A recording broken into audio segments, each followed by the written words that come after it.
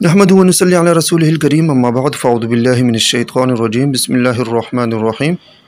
आज की इस वीडियो में एक अमल बताता हूँ बहुत ही मुजरब अमल है तीन अमल बताऊँगा जिसको आप अपनी ज़िंदगी का हिस्सा बना लें बहुत ही लाजवाब और बहुत ही पुरतासीर अमल है इससे आपको बहुत फ़ायदा होगा इस अमल की बरकत से जो है आप पर अल्लाह पाक अपनी रहमतें नाजिल करेंगे, अपना फजल नाजिल करेंगे। आपकी जो परेशानियाँ हैं, मुश्किलें हैं, नाकामियाँ हैं, वो सब दूर होंगी। आपके रिजक में इजाफा होगा, आपके कारोबार में इजाफा होगा। अगर आपके कारोबार पर नज़र है, जादू है, जन्नात है, शयातीन है, वो इससे ख़त्म होंगे। और जो है, आपके घर में खुशहाली आएगी नाइतफाकियाँ ख़त्म होंगी।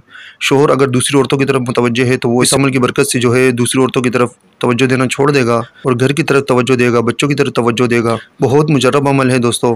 इस अमल को अपनी ज़िंदगी का हिस्सा बना लें। मुस्तकिल मिजाजी से इस अमल को करेंगे तो इन आपको बहुत फ़ायदा होगा। पहला अमल यह है कि आपने हर नमाज़ के बाद एक तस्वीर पढ़नी है, या हाफिज़, या हफीज़, या वकील, या रकीब, या सलाम।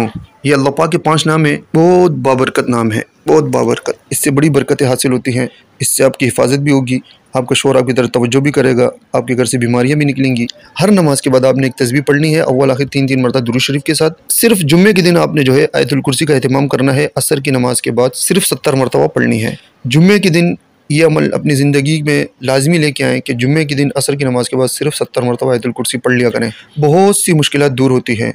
बहुत सी परेशानियाँ दूर होती हैं। जो मुश्किल काम है, जो नामुमकिन काम है, वो आपके हल हो जाएँगे। आपके रिजक में इजाफा होगा, आपके कारोबार में इजाफा होगा, घर में खुशहाली आएगी। तीसरा वजीफ़ा यह है अलिफ्लामीम अल्लाहम ये सूर्य अली इमरान की पहली आयत है। इसके बेशुमार फ़वाद हैं। इसको चलते फिरते कसरत से पढ़ा करें। कसरत से देखें ये इसमें आज़म भी है। समझ आ गई ना? इसको आप पढ़ेंगे ना तो आपके करीब जो है जिन्ना शयातीन, कोई भी नज़र बद कोई भी चीज़ आपके करीब नहीं आएगी। जिसमानी तौर पर जो आपको नुकसान देना चाहे वो बिल्कुल आपके करीब नहीं आएगा। बहुत ज़बरदस्त अमल है तीनों। छोटे छोटे अमल है, कोई मुश्किल नहीं है। अगर आप हर नमाज़ के बाद पाँच असमा की तस्वीर नहीं पढ़ सकते तो दिन में किसी भी वक्त एक मरतबा यकसुई से बैठ कर एक तस्वीर पढ़ लिया करें। इसको अपनी ज़िंदगी का हिस्सा बनाएँ। आपको और अमाल की ज़रूरत भी नहीं पड़ेगी। इतने मुजरब अमाल हैं। आप हैरान हो जाएँगे, आप इन अमल को करें, आपको बहुत फ़ायदा होगा। और ये नक्श आप जो देख रहे हैं, ये पाँच असमा आयतुल कुर्सी और सूर्य आल इमरान की पहली आयत का मजमु है। इनके आदात जमा करके ये नक्श मैंने बनाया है। बहुत ज़बरदस्त नक्श है।